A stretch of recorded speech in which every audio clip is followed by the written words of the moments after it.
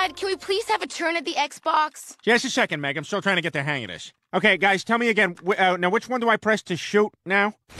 Damn it. Ah, crap. Who's the douchebag who keeps dying? I'm not a douchebag. I'm new. Look, if you're no good, why don't you just go hide till the end? All right, I'll go crouch behind the, uh...